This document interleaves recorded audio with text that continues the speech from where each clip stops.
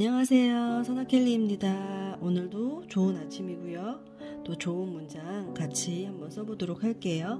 어, 오늘도 두 가지 문장을 써볼 거고요. 첫 번째 문장은 하찮은 노력 없고 귀하지 않은 삶도 없다. 당신의 노력은 당신이 안다. 이 문장 한번 써볼게요.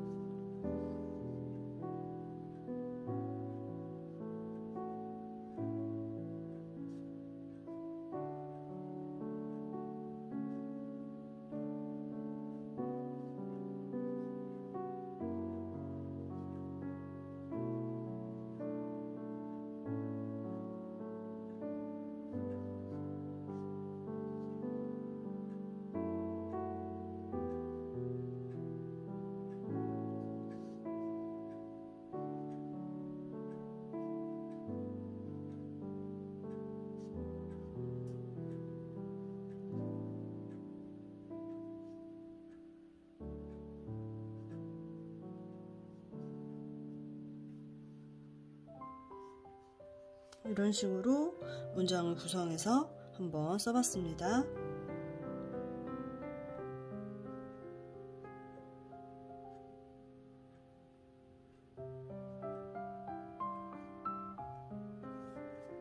두 번째 문장 또 써볼게요. 두 번째 문장은 어떤 문장을 쓸까 생각하고 찾아보다가 제 일기장에 제가 예전에 써놨던 글이 있어서 그 글로 오늘은 두 번째 문장을 해보려고 해요. 나의 오늘이 나의 내일에게 부끄럽지 않게 살아가자. 이 문장을 한번 오늘은 써보도록 할게요.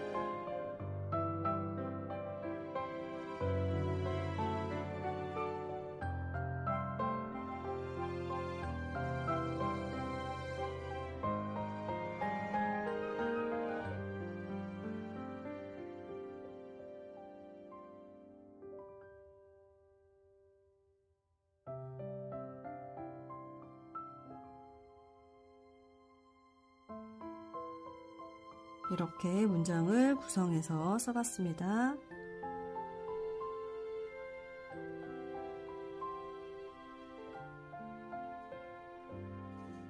오늘도 두 가지 문장 한번 써봤고요. 반복 연습 많이 많이 해주시고요. 어, 혹시 쓰시고 싶은 문구가 있으시면 밑에 댓글에다가 남겨주시면 그 문장으로 한번 같이 쓰는 연습을 해보도록 할게요. 어, 오늘도 좋은 하루 보내시고요. 내일 또 좋은 문장으로 만날게요. 모두들 안녕히 계세요.